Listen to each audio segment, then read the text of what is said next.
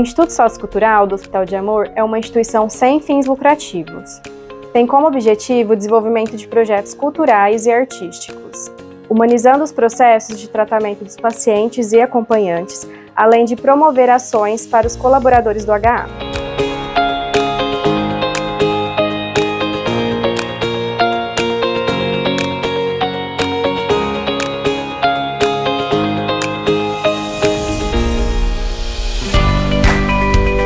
Oficina de Libras ela tem o objetivo de ensinar os colaboradores do Hospital de Amor a segunda língua oficial, que é a Libras, a língua brasileira de sinais, para que a pessoa surda se sinta acolhida, né, em, dentro de todos os espaços do hospital.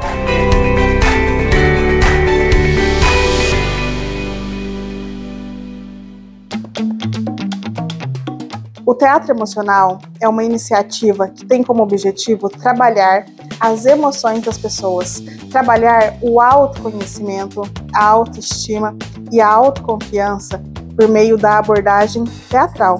Principalmente porque nós estamos trabalhando com pessoas que dedicam as suas vidas para cuidar de outras pessoas, para dedicar o seu tempo no benefício, na promoção da saúde. Então é muito importante quando a gente traz esses colaboradores para uma experiência de autocuidado, uma experiência onde eles terão tempo para olhar para eles mesmos.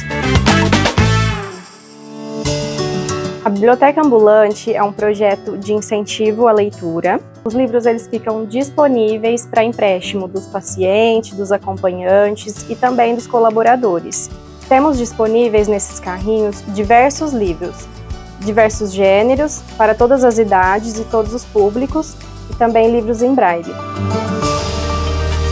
Além desses projetos que vocês acabaram de ver, o Instituto também desenvolve seminários, palestras, exposições, concertos musicais, dentre outros. Todos os nossos projetos contam com acessibilidade.